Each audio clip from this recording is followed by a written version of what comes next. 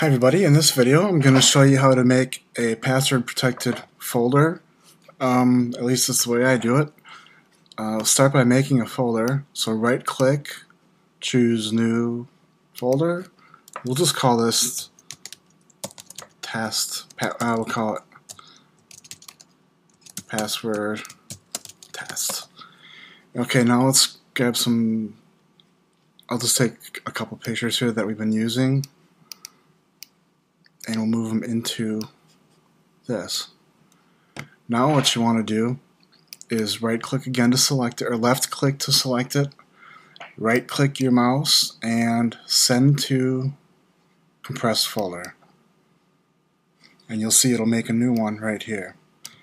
Now this compressed folder is exactly the same as this except that it's compressed. So we want to double click this one the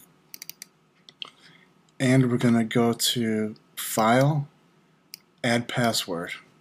And I'll just use dog, I guess. I don't know. D-O-G. D-O-G. Okay. Okay. Now let's test and see how it works. Yep, see we have to enter the password. Okay. Now, um, the obvious problem here is that this one here is just a duplicate of this. So if you really need to have this password protected so nobody can get into it, you need to delete this folder, put it in the recycle bin, and empty the recycle bin. Okay, that will get rid of it. It's not somebody who's, I'll tell you right now, like somebody who's really clever could, in theory, recover anything that's been deleted from the recycle bin, but it would take it takes a lot to do it. But it's not impossible.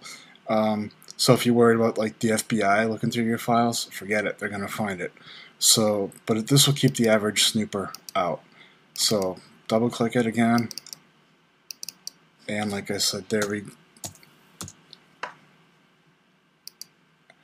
And if you lose this password, you're out of luck. There's no way to recover it. Um, you have to be like a cryptographer or somebody to figure it out. It's virtually impossible to hack into.